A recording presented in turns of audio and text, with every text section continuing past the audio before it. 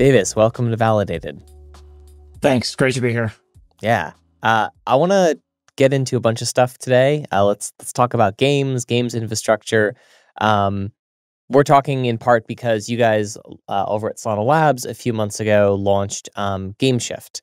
So tell us a little bit about what GameShift actually is. Yeah, at a high level, GameShift is a single API service that helps games build on top of Solana. When we started uh, working on this project over a year ago, we just realized that it was still very difficult for any game developer that wanted to use Solana to get integrated with you know all the basics that they would need wallets and assets and payments marketplaces. Um, there are great vendors that provide individual services but we felt like there was nothing that tied that together in a really easy to consume package. So that's what gameshift is. Um, the way i like to describe it to games developers is that we're a blockchain backend service for the game and this allows the developer to focus on their game uh, in the traditional infrastructure they normally use. And then on the back end, they integrate with us and we provide all of those uh, features that they need to do anything they need on Solana. Yeah. So talk a little bit about like what that interface layer looks like because people have been building blockchain based games for a while, but a lot of them have had to develop their own infrastructure to actually talk to the underlying blockchain. Yeah, we actually approach this a little bit different than some of the other solutions that have been in the market outside of Solana in the past. We take a very traditional approach in terms of how we deliver the product. So we're actually providing a REST based API. And what that means is we're essentially intermediating from the game uh, and the chain. So we're in between. It's a little bit different than other approaches that might connect the client directly on chain. Uh, there's a project in Solana called Magic Block that helps with that, and it's great for certain use cases. There's other approaches that orchestrate on chain deployment of programs on behalf of the game developer, but then the developer has to maintain their own keys and maintain control and management of all of those programs. That's a different approach that has its trade offs. We picked this intermediated approach because we think it is the most simple approach for the average developer. Yeah. It requires the least amount of blockchain knowledge. It requires the least amount of key management, blockchain programming, Rust programming, any of that. And we really wanted to provide the greatest flexibility for ourselves to serve the existing Solana community of game developers, which are pretty facile when it comes to Solana. But we really wanted to be able to welcome game developers that are blockchain aware, blockchain interested, maybe on other chains. And then in the future, to really go convince traditional gaming studios to take blockchain seriously. And we think the way to do that is to give them an answer that looks very familiar to any other infrastructure they're using, say for cloud services, or if they're using a payments provider. Our interface is going to look very similar to that. Yeah. So, so what are they in a traditional model without something like GameShift? What are developers having to actually build and talk a little bit about how that abstraction layer actually makes it easier for a game developer to do something like mint an NFT or move a token? So, if you're building a game today and you want to, I like your examples, um, you want to mint an NFT, the approach today is you, without any help from a vendor, you would have to go figure out how to use whatever the right NFT standard is. Um, as an aside, we can talk later about how standards get set in Solana, which is a little different than in other environments. Yeah. And so you'd have to decide Am I using the Metaplex NFT standard? Am I using Core? Am I using compressed? Am I using PNFTs, XNFTs? Like these are all exist. These are all things. So first you have to go understand that. And uh, let's just say the documentation for some of these things is, is not great. So you have to go understand that, figure out how to implement it, deploy the relevant programs, create all the accounts, etc. Uh, and in order to do that, you have to find your RPC provider. And so you're starting to get into a world where you need Rust development experience you need to understand how the Solana blockchain works and the architecture. You need to find RPC providers in sort of this uh, on-chain, off-chain infrastructure. So that's one approach, right? Um, the other approach is you go find a vendor that can provide that particular service. So you might work with a for example, and that will be more of a traditional API approach. But that you go down that path and you solve for that particular need, and then let's say you get that done. Now you're now you're thinking, okay, well now I'd like to go do a fungible token. Go yeah. repeat that entire process all over again. And then now you have a another implementation that sits alongside your NFTs and so on. Right. And so, like, how are people actually using this today? Like, what games are actually built on top of GameShift? Yeah, so we have a couple of games I could uh, talk about. So the first would be Earth from Another Sun, which is a galactic looter shooter RPG game. They've been working on the game for about two and a half years before they started doing the blockchain integration. Just a quick background this is a team that comes from AAA gaming. They've been focused on building an amazing game. They always knew they wanted to put blockchain in somewhere. And when they got to that point, they looked around, they decided they wanted to be on Solana. They came to us. And so now they're integrating with us. They're using a whole host of features with us. So they're going to do token incentives with GameShift. Uh, they'll have a token for the game. They it's a RPG, so it's a resource uh, economy. So they're going to mint and manage all of their resources, both semi fungibles and non fungible uh, tokens representing their resources with us. They're going to be doing crafting, marketplaces. They're going to connect all that through to fiat payments. And so, like their work of actually integrating this, what did this look like using GameShift versus if they'd done it um, natively or if they'd gone and actually had no Web3 component to this at all? So, with us, you know, they come and, and they worked with us to come up with their integration design. In terms of actually building with us, it looked like start with the re- user registration API, and then you just start plugging everything in after that. Yeah. It's all designed to work really nicely together, um, as you would expect out of a Stripe or anything like this. Uh, they could have gone down one of these other paths we've talked about before. Uh, they were looking at do we hire one or two additional engineers just to do the blockchain integration? And for an early stage games team, that's a huge amount of spend. It's also a huge amount of distraction away from the core game which this team is really focused on because they're really wanting to build a high quality gaming experience first and foremost. So for them, spending more resources and time on the blockchain integration internally would actually distract from what they're hmm. trying to build. So for teams like that that are sort of trying to decide, oh, what blockchain do I build a game on? How are they going about making that decision and how did these guys end up choosing Solana? I think for games teams, what they're looking at that's most important uh, in in the blockchain choice is technology. It's the potential to acquire players.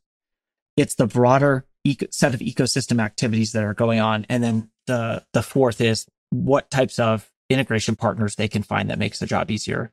Yeah. To go back through those, so on the technology side, it comes down to a lot of things that we know being deeply in Solana, right? Transaction speed, block times, throughput I think Solana's head like it's a very easy comparison to make with Solana. Like that one's pretty easy. Yeah. Uh, then it comes down to how big is the player base in the ecosystem. Games are looking towards blockchains as sort of de facto distribution channels. They they sort of think that if they can get into the ecosystem, that players will discover them more easily. Um, I don't know how true that is, but that's the belief that's out there. And then beyond that, there's the question of well, what is the broader set of economic activities or user activities that are going on in this ecosystem? I think by way of example, what's really exciting about Solana that teams are definitely interested in working in is you think about gaming and what are the adjacencies alongside gaming. DeFi is certainly one for a certain set of players and game types. And so having a robust DeFi ecosystem is actually helpful for a game that wants to plug into that kind of player mentality or that kind of infrastructure. So if token trading is part of the game, that's a very natural adjacency. The other adjacency that has become really popular in the last, call it six, 12 months is the meme coin world. Hmm. And meme coins are sort of pure in their use case that they are kind of games in and of themselves. And so I see a lot of teams looking at Solana and getting excited about the opportunity to work with those meme, meme coin communities and provide new activities around that meme coin. And in a way, this is extremely complementary. Um, sorry to take a quick aside on this point because I think it's actually really important. When I first got into crypto a number of years ago, this is when we still had this narrative of game asset interoperability, which yeah. I, frankly we just haven't seen. That hasn't that hasn't evolved. And I think for some very good business reasons that hasn't happened. And I, I don't know that it will. Meme coins are different though because a meme coin, once it gets past that initial hump of adoption, that that team is welcoming of any other uh, opportunities to drive value and excitement around the token. And so, in the case of a Bonk or a WIF, having games come into Solana and give Bonk holders, WIF holders an opportunity to do something in that game with their token, with other token holders, this is a great complement.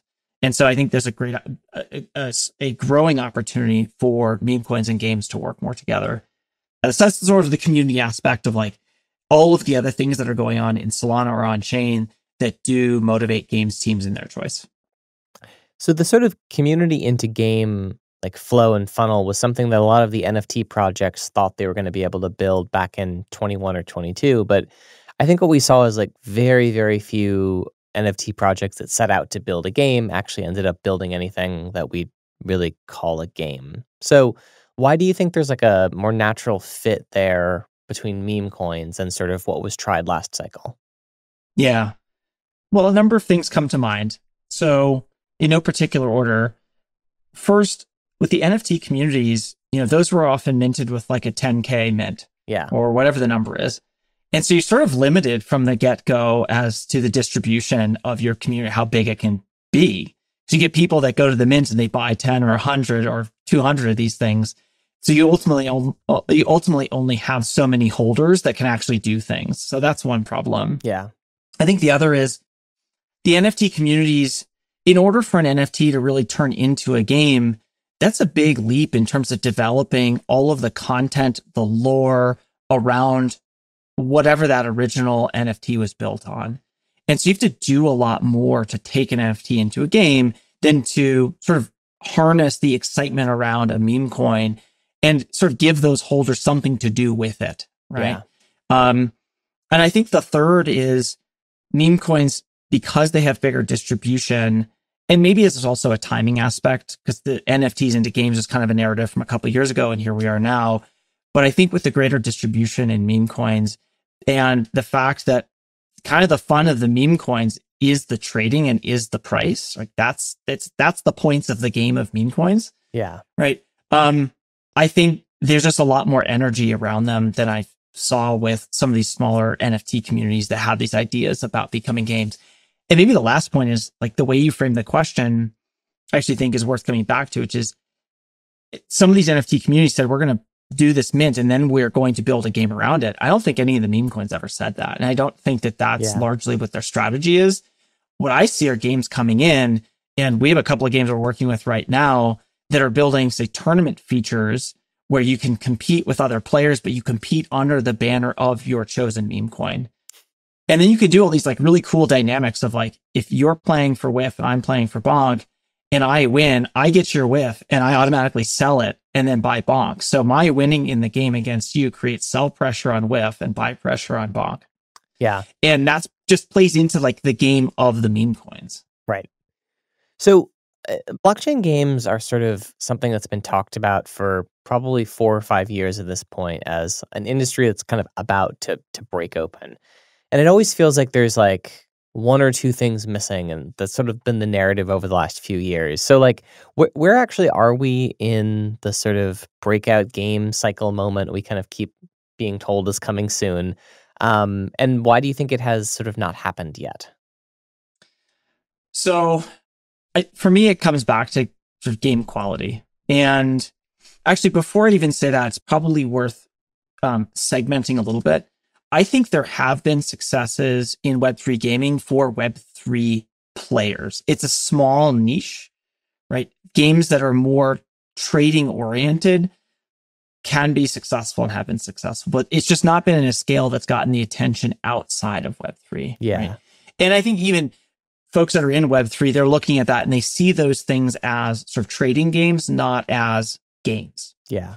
And so that's really the point here is we're still waiting for the quality games to come that are built as fun games first and then successfully leverage Web3 infrastructure for their asset economy or for something interesting around tournaments or payments and some of the other things that we see that are really nascent in like user generated content or on chain gaming. Um, there was a big investment cycle in games uh, in 2021, 2022, yeah, and sorry, at the beginning of 23 for a team like going back to Earth from Another Sun, this is a team that has been that has been funded for a couple of years. They've been building for a couple of years. That's the that's the scale on which you have to uh, invest and build these kinds of really high quality games. And so I think it's a matter of seeing some of those projects launch, which is supposed to be happening this year. EFAS, for example, is coming in Q3, Q4. Um, we've seen a number of other names like Jungle just announced they're coming to Solana. I think that's an exciting uh, project. Parallel is coming to Solana. That's an interesting project that has some success. So I think it starts with that game quality first. But then the second thing that these teams need to demonstrate is sustainability around the on chain components. Yeah. One of the things I see changing is six months ago, teams were rushing to launch tokens. Teams that we're working with now, they're starting to experiment with more um, uh, ring fenced economies in the game that they will open over time as they feel confident they can manage those economies. Mm. So I think we may see games get a little bit slower in how they put things on chain in order to avoid, you know, the boom and bust that we've seen in the past. Because once one of the once that cycle happens for your game, you're kind of done, right? Yeah. And so you have to be super careful in in rolling out the Web3 component of at least like the on-chain price discovery, liquidity, et cetera, around your game assets. Yeah. So, with GameShift and other tools that exist today, like what dynamics and what type of games are, are kind of easiest or best to build on blockchain today? And what are the classes of games that maybe the tooling isn't quite there yet? So, I think today th- there's a whole host of games that probably don't make sense to do anything on chain. Probably a lot of single player games, just it's a little harder to see. So, first and foremost, I think you have to look at games that are trying to do something. They're either a multiplayer game or I do think that we're seeing a lot of um, a lot of development in sort of the tournament real money gaming space where mm. you can take single player games and you can actually kind of create a multiplayer experience. But multiplayer, some element of multiplayer probably has to happen. So far, Web3 has demonstrated that any any game with a rich asset economy makes sense to do on chain. So RPGs are really good for this. I think on the other end of the spectrum, where we're still waiting for more technology potentially would be getting more towards fully on chain games. I do think that an on chain game, meaning where you're putting your full game state and game logic on chain, you have no backend game server, or if you do, it's it's it's not the authoritative source of truth. Yeah. I do think that opens some very interesting use cases, particularly around guilds and around sort of open modding that's a very exciting space. But frankly, even Solana probably doesn't have the technicals out of the box that are necessary to fully enable those kinds of games. You look at Star Atlas fully on chain game in Solana. I think uh, I don't know the stats off the top of my head, but I think uh, six months ago they represented something like I want to say twenty percent of all transaction volume. I mean, if so, if you have five star atlases, you crash Solana. So we need to get beyond that. Um, there's some interesting projects in Solana. I don't know if you want to call them L2s or side chains that may solve some of this, but there's a whole host of infrastructure that if, if we really want to move into on-chain games, that has to get built. Those are, I think, are the two ends of the spectrum. The space is in the middle, right? We're starting to work our way, you know, across that space. But the ends of the spectrum, I think, really exemplify like what really can work easily and what's really you know, still needs a lot more development. Yeah. Does something like GameShift like work with the onboarding component too, or is it really just interfaces with like the blockchain for calls? Um, onboarding of whom? Uh, user side of. So like I sign up to use a game. Uh, there's a whole process of having to create wallets and other types of infrastructure to support that. Yep. Yeah. Yeah. We we build in embedded wallets. So uh, our approach to this is kind of like a Stripe for Solana in the sense that hmm. we support games bringing players that maybe already have wallets so we can connect to existing wallets, but then we also support embedded wallets. We work with a company called MetaKeep, which is in the Solana ecosystem, uh, to provide embedded wallets. So uh, the game can sign a user up and provision a wallet silently for that user. And then later, when it's time for that user to approve a transaction, these are non custodial wallets. There is a web based flow for them to approve where the security and non custodial nature is preserved through the way that uh, MetaKeep has implemented the approval uh, approval flow. And I think for us, we think about on, it's not just onboarding, it's the whole player experience where some games want to make that player experience very accessible for many different kinds of players. And so one way we do that, it's not just the embedded wallets, but we also support fiat payments, both on the pay in and pay out side. Mm. We connect that through on the marketplaces. So we do in game branded marketplaces with fiat purchasing built in. So you can buy assets off the marketplace using a credit card if you want. And I think that resonates with with a lot of teams that really want to out of the gate be able to serve as many players as they can. At the end of the day, gaming is a hyper competitive market. And I think the teams that can be successful the ones that come in with an understanding of the demographic they're going after. And I don't know that that demographic is ultimately necessarily going to be like I just want to serve, you know, web three players or or web two players. I think it's gonna be more about, hey, my game is attracted to this kind of gamer. And that's the kind of person I want to serve. Okay, so I'm gonna go find those people. You know, it's people that are interested in a certain type of RPG or people that are interested in this kind of a trading card game. And so I'm gonna go into those communities where people are congregating around that genre, not around web three or web two. And I'm gonna deploy my game. And as they come in, if they want to do the full Web3 experience, connect a wallet, pay with Sol, whatever that is, I, GameShift can help them support that. Same time, if that player comes in without any of that stuff, then we can support that player as well. Yeah.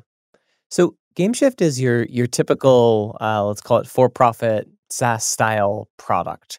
Um, out of all of the scope of things that Solana Labs could have chosen to build, what was it about this market and this this product opportunity um, that was worth building out a whole product suite for? I think it started with a philosophy and a belief around games as a core use case for Web3.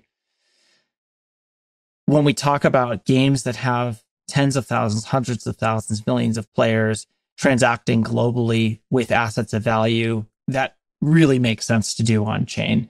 Doing that in the Web2 domain, I come, you know, some of my background has been in payments, right? You just do payments is incredibly complicated, let alone everything else you have to do, you know, for marketplaces, et cetera. So it started with a thesis and a belief that this is a great use case for not just blockchain, but specifically for Solana, right? We're Solana Labs. So we're going to look first and foremost, okay, like what, what is Solana predisposed for and what can we do well? Um, so that's really what drove the development here. And then the next step was to look at, well, is the is the ecosystem well served with infrastructure providers today. Yeah. And what we identified was there was good vertical providers that could do, say, payments, that could do a marketplace, that could do wallets, but no one was really tying those all together and deploying a full package and then committing to expanding that package over time in the way that we have. So that was sort of the gap that we identified. And to your point, um, Solana Labs is a for-profit company. GameShift is a for-profit company. So we are also looking at you know, is this a space where we can add enough value that there's a revenue potential for the product? we think that we're unlocking a lot of value, you know, with teams that come in. As I said, they can avoid hiring a full-time developer just for blockchain. That's a huge amount of savings. Uh, plus the opportunity that then we sort of become their Web3 um, consultant, if you were, right. where we're keep where we're keeping tabs on everything that's happening in Solana. I think as labs, we're well positioned to do that. Um, just given our history and the people we have on the team, we're keeping tabs on everything that's going on, and we're building into the product over time. What we think are the most interesting Web three enabled use cases. So, just by way of example, we're working on real money gaming and tournament management now. Uh, I've been spending a lot of time with you know Foundation and folks in the gaming space talking about hey, what's the role of uh, Solana actions and blinks? You know, how do we use those in yeah. games? Are there some interesting use cases? And token 22, right? Uh, there's a whole bunch of opportunities there. How much of those apply to games? And so as we identify those, test them, then we'll bring them into the product. So the the sort of thing you've been describing here of like there, there's a there's a product need here that wasn't being served kind of in the market. Um, what sort of convinced you that there was a big market for this though, because I think probably a few years ago there were a bunch of game infrastructure companies across many different blockchains that were getting built and none of them really caught on at the time. So what what changed between the market of 2021 and the market of 2023 that something like GameShift was needed? So, I think the difference from 21 to 23 is the breadth of what people were trying to do or even what was theoretically possible for web3 and gaming 2021, I mean, that was still like basically DeFi summer, NFT summer. That yeah. was the focus. And so the set of features that you could provide for eh, from an infrastructure perspective was pretty narrow. And frankly, I think at that time, those features would have been, I mean, even at that time, were commodities, right? NFT minting is not the most um, difficult sort of value add thing to provide. It's important and it's not trivial, right? But it becomes commoditized pretty quickly. And if you don't have a breadth of things you can go do, then you can't provide this better together value. You can't continue to expand the breadth of your services. So I think that that's a major difference where now we've got better infra- we have better infrastructure uh, around you know payments. We have many different asset types. Some of the things I mentioned about like tournaments, real money gaming. So there's more that you can do here where there's a bigger space for someone like us to provide value. I think the other thing that has changed is the narrative around gaming. And I think what the ecosystem is expecting out of gaming has evolved beyond those first experiments, that, which were very um, NFT based, that were very play to earn based. Mm-hmm. And we've seen people trying many different types of economic models in gaming, some that use tokens, some that don't, uh, some that are more focused on competitive aspects, some that aren't. And so there's hopefully more opportunities to find what really works and then scale up from there. Admittedly, Web3 gaming as a percentage of overall gaming is roughly 1%, right? And in a sense, that is both the opportunity, but it's also leads to the question of, of well, when that we talked about earlier. Yeah. We happen to have a belief that this, that this will connect for us and for the teams we work with. The question is, okay, how do we maximize the amount of time that we have and how do we take as many shots on goal to figure out what those things are going to be? Yeah. So the teams that are are coming to you now and saying, "Hey, we want to use this. We want to build this stuff on Solana." What what is the that those conversations like? Is this sort of more of a are they approaching you saying, "We don't really know much about blockchain, but we want to have some blockchain component to this game, so we want to use this tooling?" Or are these folks who are saying, "Hey, we've pretty much already decided we're going to build on Solana, but this just makes it easier for us to do something we were already going to do?" It's a mix. I haven't teams that come to us, you know, they, they if they come to us, they found us because they at least knew enough about blockchain to understand that hey, there's this thing called Solana, you know, so on. So we don't really run into teams that are saying, hey, uh, we don't know anything about blockchain, but let like let's work together, right? Yeah. So there's always some degree of awareness. I think from there it it spans a spectrum. Um, there's two dimensions here. There's what do they want to do on chain, and then the question is how do they want to do it. I think the how do they want to do it? We talked about earlier. You know, they're looking at options and they see how GameShift fits relative to say, hey, I'm going to build my own, or I'm going to go put together a bunch of vendors. So, so there's a that's like I think pretty clear to get through. Um, the variation in what we see of what people want to do on chain, I think the the bookends would be on one end you have teams that come and they're looking at uh, taking a game model and bringing the sort of asset aspects of the game on chain. So RPGs are a nice example where it's yeah. pretty clear how you take an RPG from Web 2 to Web 3. We run into some just great teams to work with. Um, there's some names I wish I could share that we haven't announced yet, but there's a couple of teams that we're working with that are coming more from the Web3 background. And they're very fun to work with because they're really thinking about how do they take some like the true Web3 degeneracy that happens around tokens and bring that into a game. Hmm. And I think it's it's just fun to ideate on on those initiatives because it just represents a different way of playing games that just kind of breaks the mold. And so that can be very fun. Beyond that, we do occasionally talk to teams that ultimately decide to go and build their own because they want to do a lot of custom stuff on chain. And and I think that's super important because those are the teams that then we follow to figure out, okay, well, what more should we be building? Right. We, um, yeah. through, through that process, we identified, hey, we need to have an on-chain rewards program that can reward players for committing tokens over time. And then, you know, they do things in game and, and with all of that combined, they get access to rewards in game or on chain. And we identify that because we saw that happening in a lot of games. So those teams that are outside the scope of GameShift because they want to build their own, because they want something more complex, those become the people we follow and we watch and we look for inspiration from. Nice. And the actual like components themselves, um, You mentioned that this sort of handles the entire process of token management, item creation, um, some of that kind of work where people are bringing their own wallets or connecting into embedded wallets. What is the sort of like future scope of what GameShift looks to touch look like? Is this the sort of thing where you actually could see other types of blockchain specific tooling needed for enabling other types of game use cases? So there's a couple of things. I've mentioned uh, tournaments and real money gaming.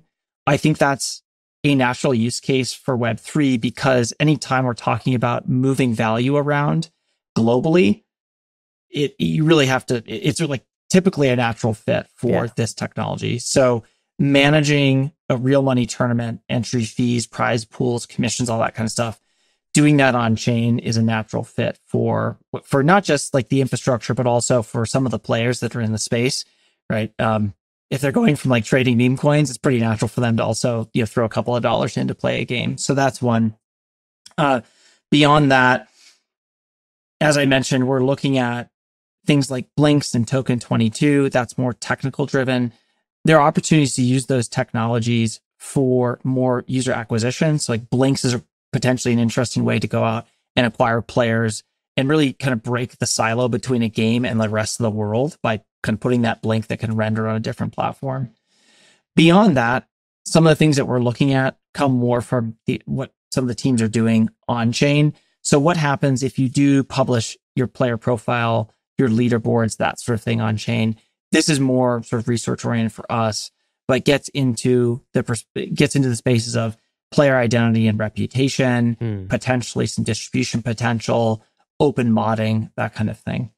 So you mentioned something interesting there, which are like money based games, which gets a little bit closer to betting than the traditional blockchain games market's been in. But obviously, sports betting and other types of you know online gambling are are quite profitable and you know dominate the real world of uh, sports as well.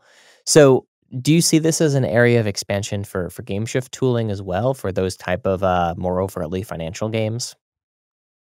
Potentially. So I think in the space of real money games, there's, in my mind, roughly speaking, there's three major categories. There's single player games of skill. So this is like what skills builds. It's a whole company that builds this stuff. Uh, then in the middle, which is where we're focused, would be more competitive multiplayer games that are using real money as either esports, more traditional, you know, uh, rewarding really skilled players with lots of value.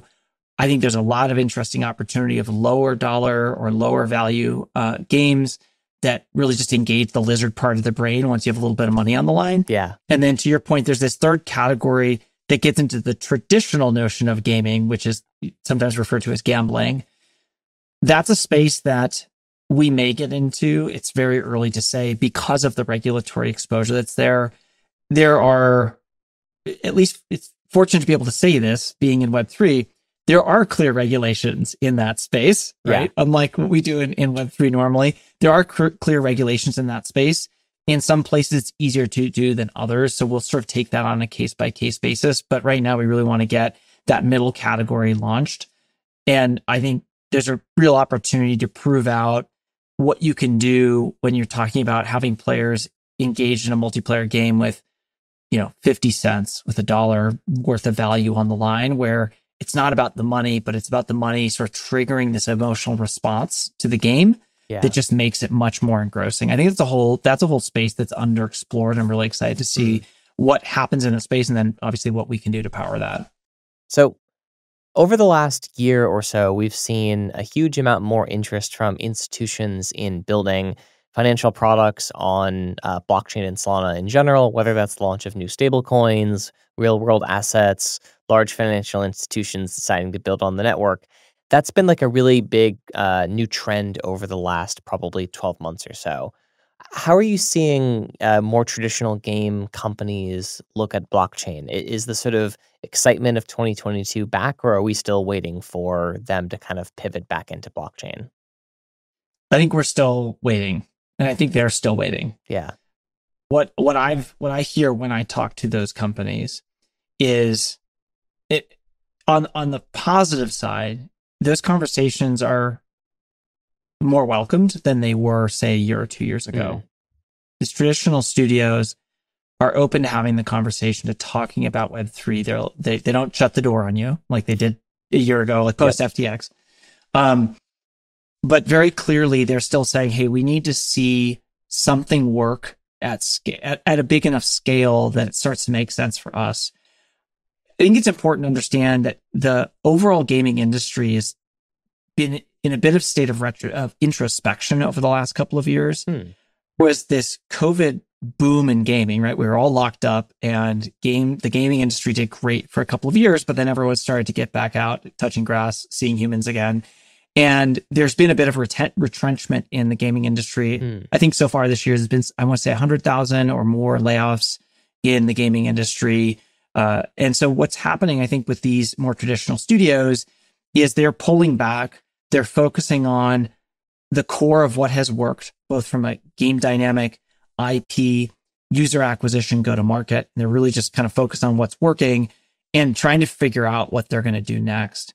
And so for the where Web3 fits into that conversation, they're completely open to anything, including Web3 that shows them a path forward to increasing revenue, in- increasing revenue per player, increasing uh, player engagement stats, etc but they need to see it happen at a big enough scale that they can imagine scaling it up to where they're yeah. at. I mean, we're talking about larger gaming studios here.